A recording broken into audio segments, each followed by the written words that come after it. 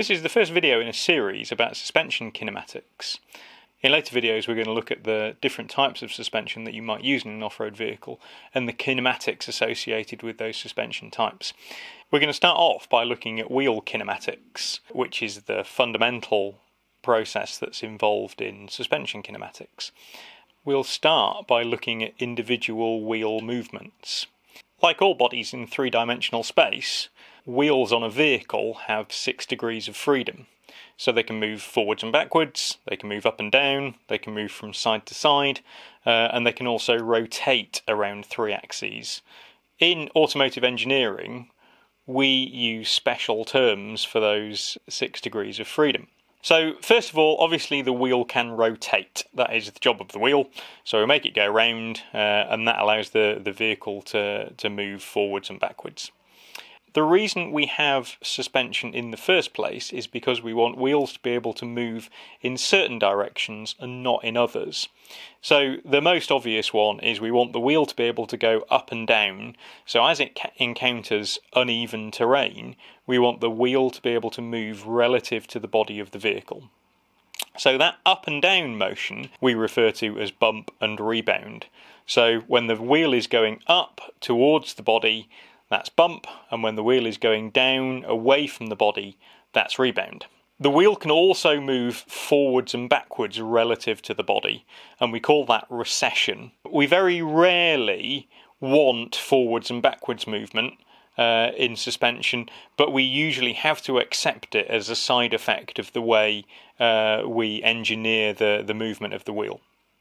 We also have lateral movement, so the wheel can move from side to side, so uh, in and out, towards and away from the body. The three degrees of rotation, then, so obviously we want the wheel to be able to rotate um, because that's its job, and that allows the, the vehicle to move forwards and backwards.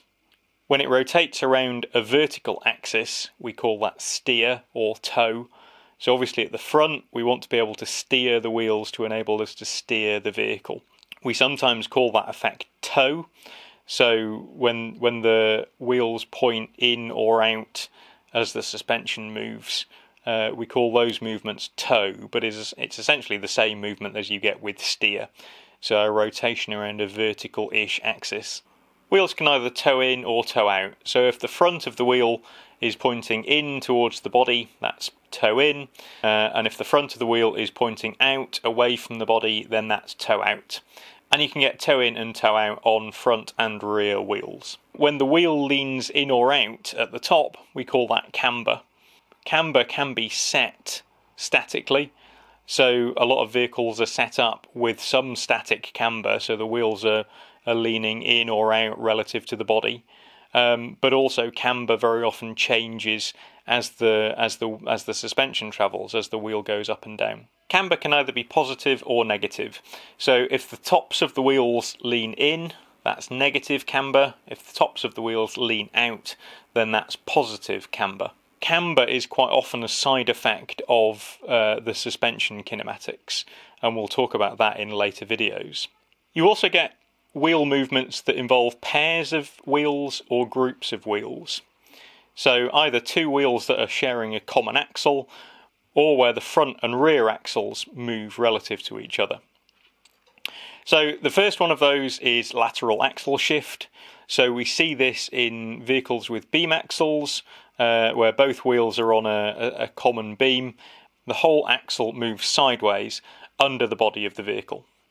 Another phenomenon that only really affects beam axles is axle steer, and this is where the whole axle rotates under the body of the vehicle, just like a kid's go kart.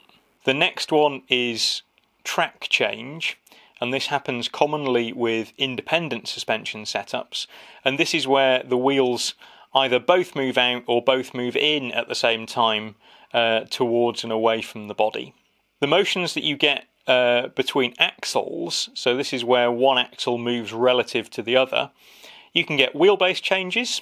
So if the front axle goes forwards and the back axle goes back, or vice versa, then the wheelbase of the vehicle will change. And you can also get a wheelbase shift. So this happens where both axles move in the same direction. So if both axles move forwards or both axles move backwards, you'll get a wheelbase shift. Wheel motions result from uh, the motion of arms moving through arcs and the way that the end of an arm that's moving through an arc moves in and out relative to the, the fixed point on the inside.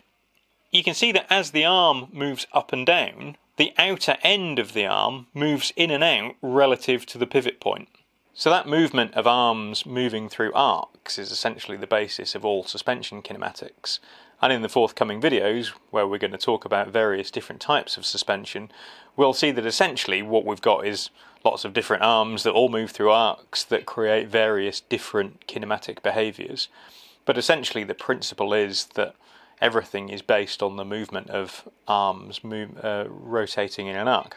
So, to summarise, we've seen that wheels have six degrees of freedom, and we call those degrees of freedom bump and rebound, recession, and lateral motion, and then the rotational degrees of freedom we call rotation, camber, and steer or toe.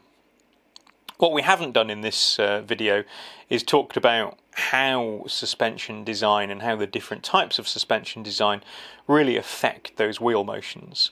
So in the coming videos we'll talk about different types of suspension, both beam axle and independent types, and look at how those different types of suspension affect wheel motion, and in turn what those wheel motions do to the handling of the vehicle. If you like this video, then don't forget to press the thumbs up. And if you want to see more content about off-road vehicle engineering, then don't forget to subscribe.